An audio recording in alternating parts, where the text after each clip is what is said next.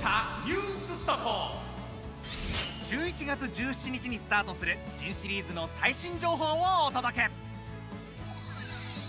今日はサトシとゴーの冒険の拠点と新たな登場人物を紹介。くちばシティに作られた桜木研究所が新たな冒険の拠点。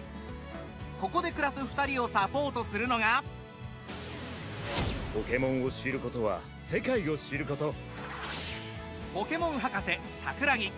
2人の冒険をサポートしながらポケモン研究を行う。そして遅いよゴー。桜木博士の娘小春。ゴーと幼なじみで研究所のポケモンワンパチにとても好かれている。